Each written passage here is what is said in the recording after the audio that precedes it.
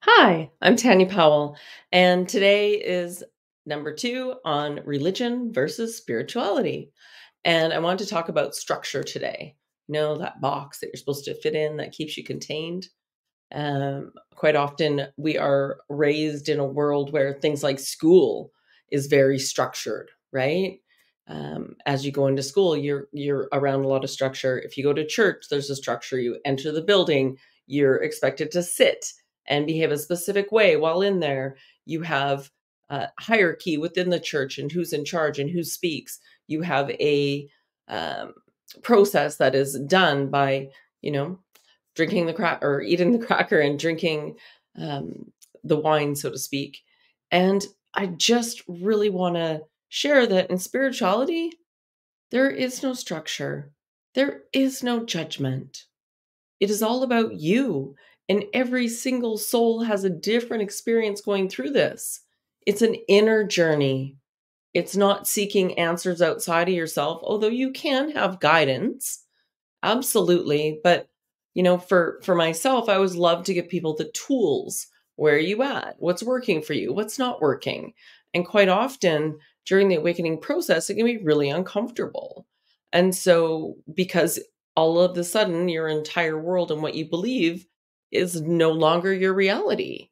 And so you start to observe and realize that how come nobody else is thinking like I'm thinking?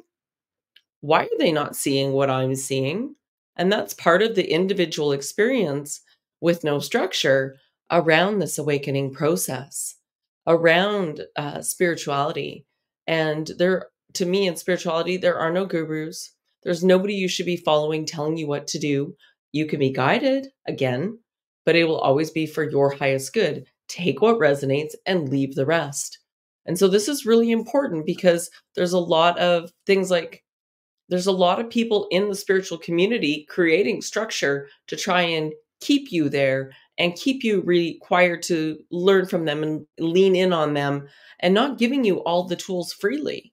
And so when you work with us, you may be a little overwhelmed sometimes because we try and give you specific tools, but we want to keep you on track, but we're willing to give it all to you.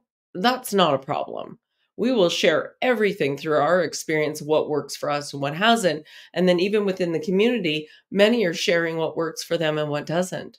So, please let me know in the comments below your thoughts on this about structure and spirituality versus religion. I'd love to hear from you.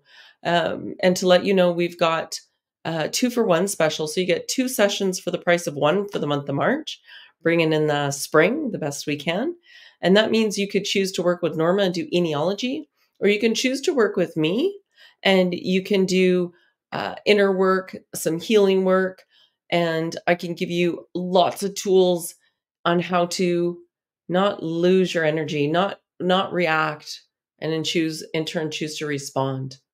And so there's many tools that I use for that. And quite often, once you become the observer, your life really changes.